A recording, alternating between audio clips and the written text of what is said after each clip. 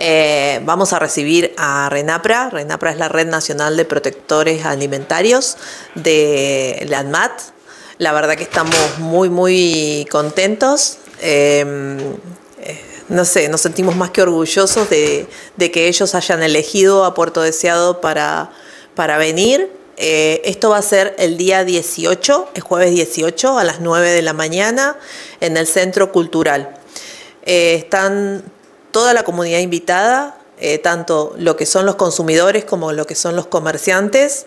Eh, es una jornada cortita, son más o menos dos horas, dos horas y media, y después van eh, a pasar a todo lo que son los inspectores, tanto de bromatología como los inspectores de defensa del consumidor.